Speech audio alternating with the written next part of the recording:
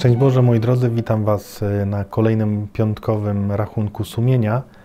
E, moi drodzy, jak zwykle dla tych, co do nas dołączają się po raz pierwszy, to dodam, Wy już pewnie słyszeliście to wiele razy, dodam, że rachunek sumienia jednocześnie prowadzę, e, czyli daję takie instrukcje krótkie do tego, jak zrobić kolejny krok. Będzie pięć kroków tej naszej modlitwy, czyli jednocześnie go prowadzę, jednocześnie się nim modlę, czyli mówię parę zdań wyjaśnień i dalej zanurzam się w modlitwę i sam też modlę, odprawiam rachunek, modlę się, odprawiam rachunek sumienia.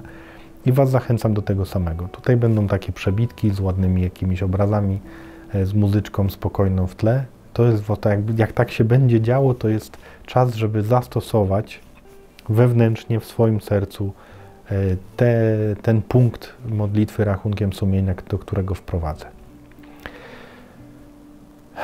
Usiądźmy teraz spokojnie, spróbujmy trochę nasze serce wyciszyć, a może nawet nie tyle wyciszyć, ile tak po prostu usłyszeć, co tam w nim teraz mam, e, co, kim jestem, co mnie wypełnia e, w moją głowę, moje serce w tej chwili, kiedy siadam, żeby rozpocząć modlitwę rachunkiem sumienia. Już samo takie popatrzenie na to wszystko, jakby danie taki krok o dystansu od tego, zobaczenie, powiedzenie, hm, to wszystko dzisiaj mam, z tym przychodzę to już, już sam ten fakt wycisza nasze serce, więc e, za chwilę rozpoczniemy rachunek sumienia, teraz taki moment tego dystansu, tego spojrzenia na to, co jest we mnie.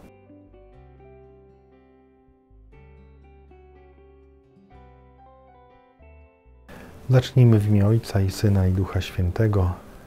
Pierwszy krok to dziękczynienie. Dzisiaj bez zbędnych wyjaśnień.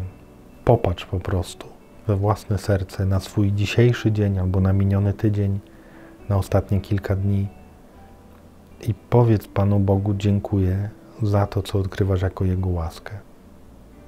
Może tylko dodam, pamiętaj, że są łaski, nazwijmy to łatwe, przyjemne, takie dary, które za darmo dostałem, które cieszą moje serce, ale są też łaski trudne, że było mi przez coś trudno przejść.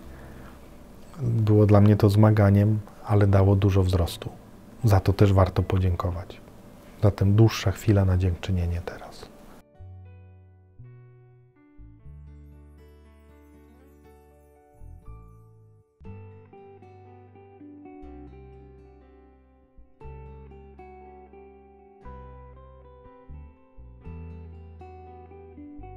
Dodam jeszcze, że może tak być, że w pewnym momencie to nasze dziękowanie takie nazywanie otrzymanych łask, mówienie dziękuję Ci za to, dziękuję Ci za to, e, może się przerodzić bardzo dobrze, jeśli się przeradza w postawę wdzięczności, w taki moment, kiedy po prostu mam wdzięczne serce i stoję przed Bogiem, jakbym całym sobą był jednym wielkim dziękuję w Jego stronę.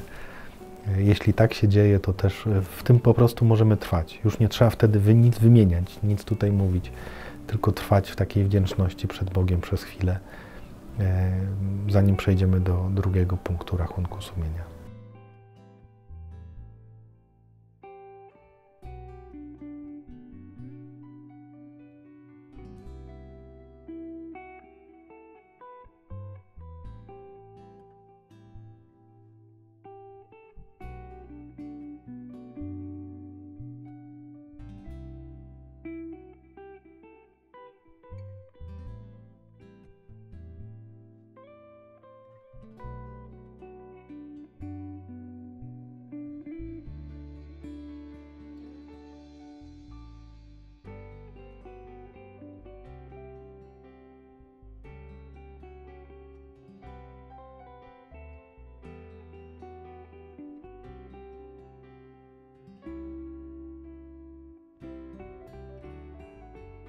A drugi krok rachunku sumienia, bardzo krótki, bardzo prosty, prośba o światło Ducha Świętego.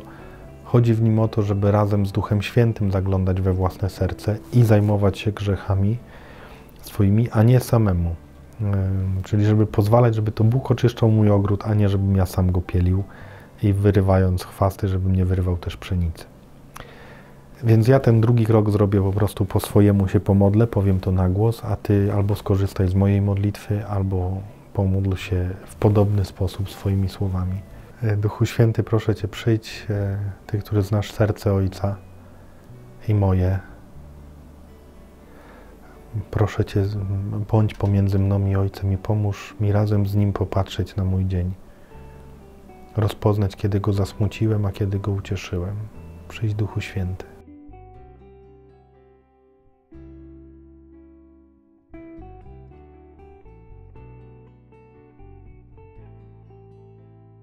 Trzeci punkt rachunku sumienia to jest poprzeglądanie e, wydarzeń z dnia czy z ostatnich dni, zależy jak często ten rachunek sumienia robisz albo robię.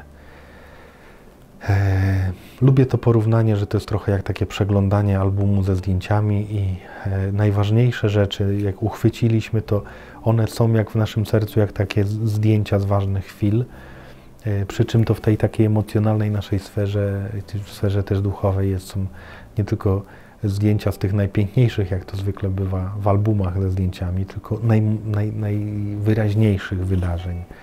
Więc zachęcam, żeby teraz popatrzeć w swoje serce i te najwyraźniejsze wydarzenia, mm, które jakoś odcisnęły się na mnie, że jak dzisiaj teraz patrzę w serce, to one po prostu wychodzą, że tak to się stało. Stało się to, to, choćby to było trudne czy bolesne, e, to warto je przywołać e, po to, żeby zobaczyć, jak ja się w tych sytuacjach zachowałem, tak wewnętrznie w moim sumieniu, czy podążałem za tym, co Boże, czy wybrałem łatwiejszą drogę.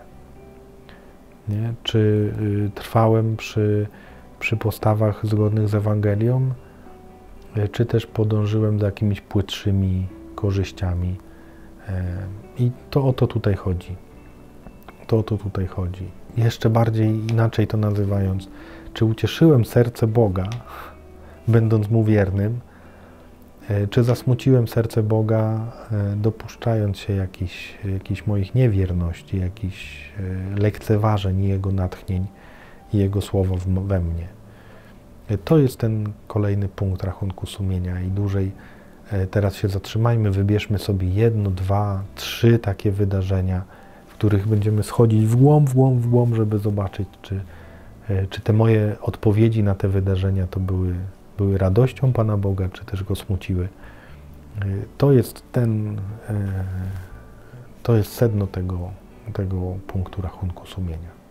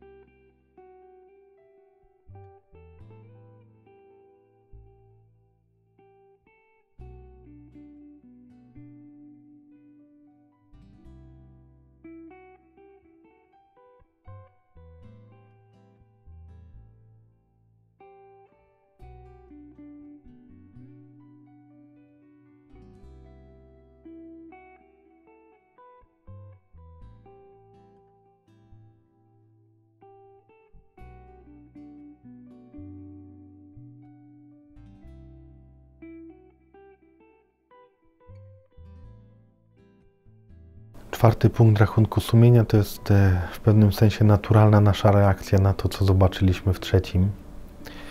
E, bo jak widzimy, że rozradowaliśmy serce Ojca, albo że byliśmy wierni natchnieniom, byliśmy wierni własnemu sumieniu, wierni Słowu Bożemu, że w sytuacjach, które przyszły, zachowaliśmy jakąś wewnętrzną prawdę, przejrzystość, e, to, to, to, czymś naturalnym jest jakaś postawa takiej wdzięczności, radości, uwielbienia. E, możemy wielbić Boże, dziękuję Ci, że mnie uzdolniłeś do wierności Tobie i samemu sobie. Nie? E, niech będzie chwała Tobie, który się objawiłeś w danej, w danej sytuacji. Objawiłeś się przez moje prawe zachowanie, takie zgodne z Twoją wolą. Tobie niech będzie chwała. Uwielbienie to jest dobra postawa. Jest też jakaś radość e, wewnętrzna, e, kiedy nad tym się przyglądamy, że, że Bóg był obecny i mnie uzdolnił do tego, żeby być mu wiernym. Kiedy zawiedliśmy, kiedy bardziej chyba samych siebie niż Pana Boga, On wie, że jesteśmy słabi, ale kiedy zlekceważyłem Boże Słowo i widzę to, kiedy nie byłem wierny własnemu sumieniu, albo zasmuciłem Boże serce, Pan miał życie dla mnie, chciał, żeby się Jego życie przeze mnie objawiało, a ja tego nie uszanowałem, to będzie normalne, że gdzieś będziemy się smucić wewnętrznie takim smutkiem pełnym skruchy. Smutkiem, który mówi, smucę się, bo e, no, cień przeze mnie na relacje między nami przyszedł cień. Nie? I to jest ten moment, żeby trwać w tej postawie skruchy. Albo w uwielbieniu, albo w skrusze. I kochani, to jest dobre, żeby nie tylko mówić przepraszam, przepraszam, przepraszam, tylko bardziej trwać z takim, y, ja to nazywam, przynoszę przed Ciebie, Panie, potuczone moje skorupy, y, takich glinianych garnków, potuczone, bo, y, bo, się, bo, bo nie, nie, nie utrzymałem łaski, tylko pozwoliłem, żeby coś uderzyło, popękało, żeby wypłynęła ta łaska. Teraz przychodzę i daję, składam w Twoje ręce te skorupy, proszę Cię, Ty je posklejaj. To jest taka postawa. Ja, ja, ja takie coś mam teraz w sercu. Zachęcam, żebyś wszedł w podobną modlitwę i, i warto w tej postawie serca trwać, nie tylko mówić te słowa, ale trwać w postawie serca i jednocześnie przyjmować Jego miłosierdzie. E, to przypomina jakiś taki uścisk pojednania, przebaczenia. No, przypowieść o synu marnotrawnym jest idealna, jak on wraca i, ojciec mu wybiega na spotkanie z oddali, e, bo wzruszył się głęboko. To jest ta chwila.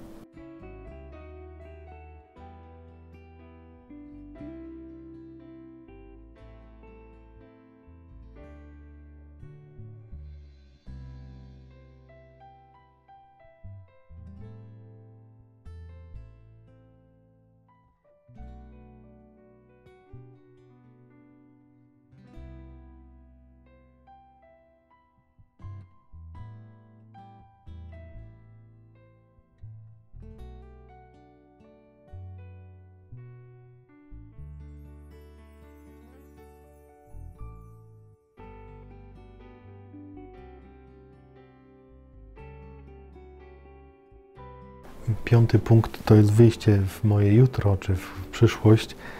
E, dzisiaj też się posłużę Słowem Bożym e, z Księgi Proroka Izajasza z 43 rozdziału, czwarty wers. Ponieważ drogi jesteś w moich oczach, nabrałeś wartości, ja Cię miłuję, przeto daję ludzi za Ciebie i narody za życie Twoje.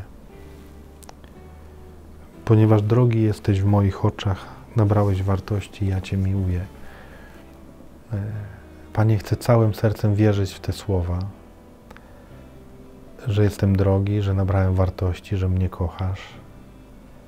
Proszę Cię, daj mi całą łaskę, jakiej potrzebuję, żeby jutro żyć tak, jak mówią te słowa. Ja je dzisiaj chcę wziąć, chcę je przyjąć, chcę pozwolić, żeby one wpadły jak ziarno w moje serce i zakiełkowały i wydały owoce. Jutro i, i, i później w życiu moim. Ojcze nasz, któryś jest w niebie, święć się imię Twoje, przyjdź królestwo Twoje, bądź wola Twoja jako w niebie, tak i na ziemi.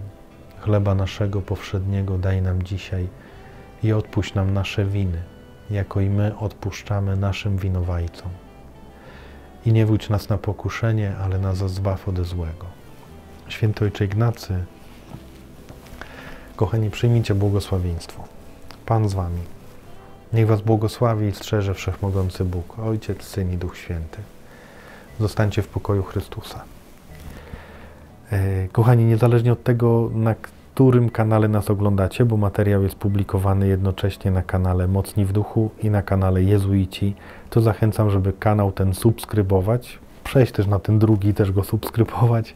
Poza tym można dać kciuka w górę, udostępnić ten materiał komuś, e, kto może potrzebować takiej modlitewnej pomocy. E, mam nadzieję, że do zobaczenia z Bogiem.